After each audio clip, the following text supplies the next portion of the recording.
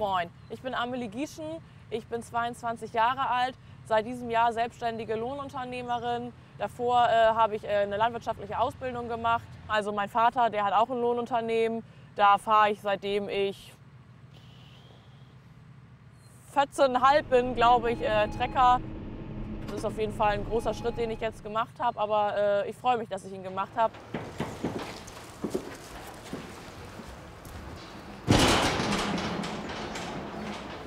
Fahre heute Maisweg für einen von meinen Kunden. Das sind 30 Hektar. Das wird also noch ein strammer Tag heute. Ja, und da fahren wir jetzt mal hin.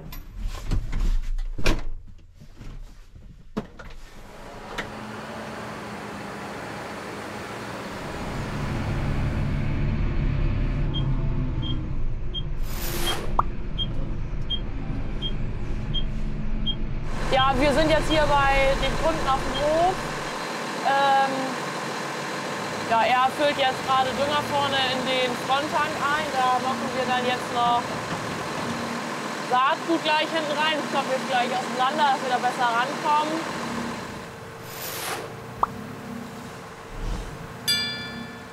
Hier sieht man jetzt ist das Zellrad.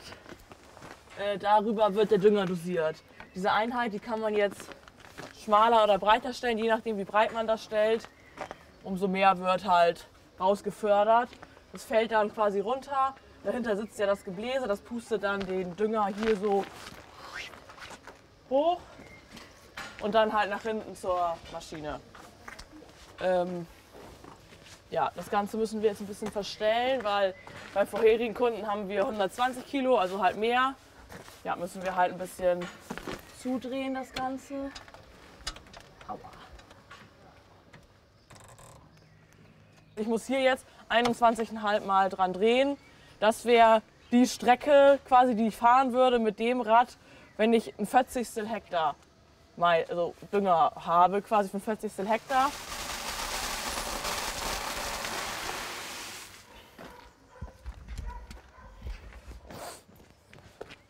Also 1,96 mal 40, damit wir auf den ganzen Hektar kommen, wären wir jetzt bei 78 Kilo. Wir wollen aber 100, heißt ich muss das wieder ein bisschen weiter aufstellen und das Ganze dann nochmal machen, so lange bis ich bei 100 Kilo bin.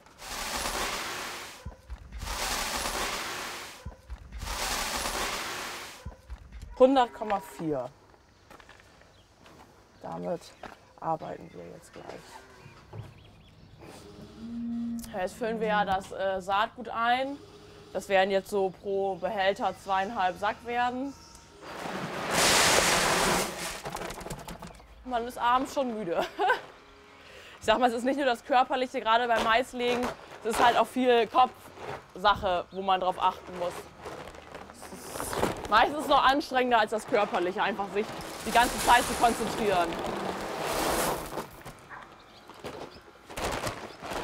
Betreibe ja ein Lohnunternehmen und ähm, ja, man kann das Ganze so beschreiben als Agrardienstleister. Also wir bieten Dienstleistungen im Agrarbereich an. Sprich, wir haben die Maschinen jetzt hier wie den Maisleger oder Häcksler, Mähdrescher, Güllefass, was sich ein Landwirt einfach nicht anschafft, weil so eine Maschine, ja, ein neuer Maisleger, der würde jetzt 80.000 Euro kosten. Ein Trecker kostet um die 200.000, ein Maishäcksler 400.000. Drescher, also das sind alles Summen, da braucht ein Landwirt heutzutage nicht mehr drüber nachdenken, weil die einfach kein Geld mehr für ihre Produkte kriegen, beziehungsweise es sich auch einfach nicht rechnet, weil hier viele Betriebe halt klein sind in Norddeutschland oder Westdeutschland und die bezahlen uns dann dafür nach Stunde oder Hektar.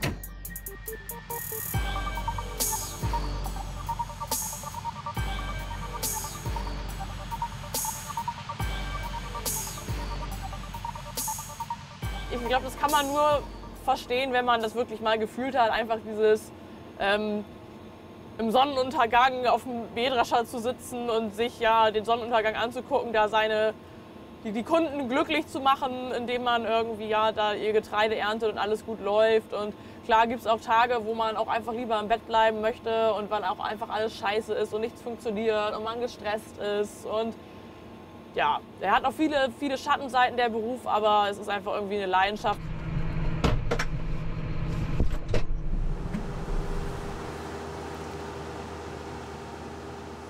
Das Vorgewende ist ähm, immer so das Kniffligste, gerade hier auf so einer Fläche, wo ich quasi ja, ein, zwei, drei vier, fünf, sechs, zwölf Vorgewände gefühlt habe. Also Vorgewände ist ja das, was außenrum quasi ist.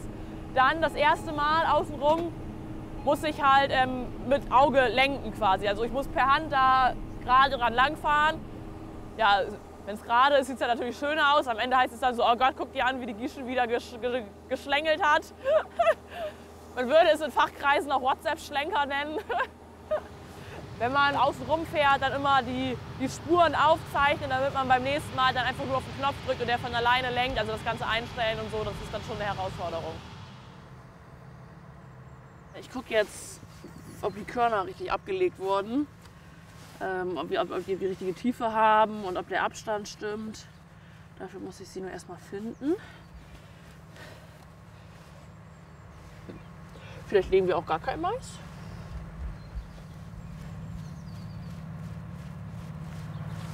Äh, wollen die mich jetzt verarschen hier oder was?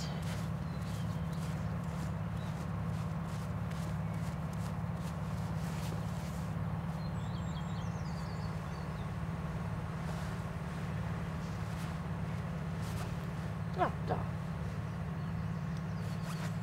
Muss doch an der richtigen Stelle graben.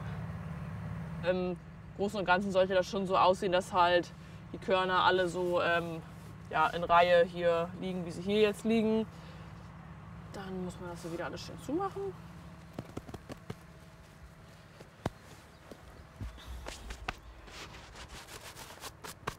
So, jetzt werde ich weitermachen. Die Fläche war natürlich sehr anspruchsvoll, viele Vorgewände, viele kurze Bahnen, aber ähm, ja, jetzt zum Ende hat es dann ganz gut geklappt. Ja, und wenn ihr mehr von mir und meiner Arbeit sehen wollt, dann könnt ihr gerne in der ARD Mediathek gucken oder hier auf dem YouTube-Kanal.